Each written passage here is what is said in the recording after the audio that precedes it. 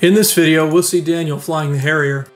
The Harrier is a maneuver that you'll need to master before attempting to learn to hover, since it allows you to get into the hovering position smoothly and in control. It also helps you to learn to slow the plane down gradually.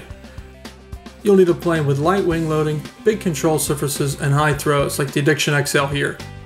Now this maneuver is similar to the elevator, except this time instead of descending, we're actually flying the airplane level with the nose pointing up at a high angle of attack 45 degrees or more, and while at a very slow forward airspeed. That's a very fun maneuver because you can make the airplane go anywhere you want while flying at that very slow speed. And once familiar with the concept of the Harrier, you can later attempt pirouetting circles with the airplane.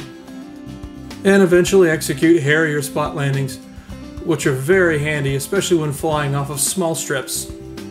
To begin the Harrier, start by flying slow and level in calm conditions and begin to gradually slow the model down until finding you need to apply more and more up elevator to keep it flying level. As in the elevator maneuver, apply the throttle and elevator to maintain that high angle of attack and altitude while using the rudder to steer and the ailerons to keep the wings level. Control inputs need to be smooth and deliberate, need to avoid jerky movements here. If the CG is too far forward or it's too windy, you may experience wing rock. The lighter the wing loading of the airplane, the better it will perform Harriers. Heavier planes with higher wing loadings just make it harder to perform.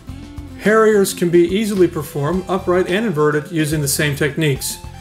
Just be very careful when doing Harrier circles, keeping the wings level is very important. If you do experience wing rock, apply a little more throttle and try to keep the wings stable with the ailerons and keep the nose higher.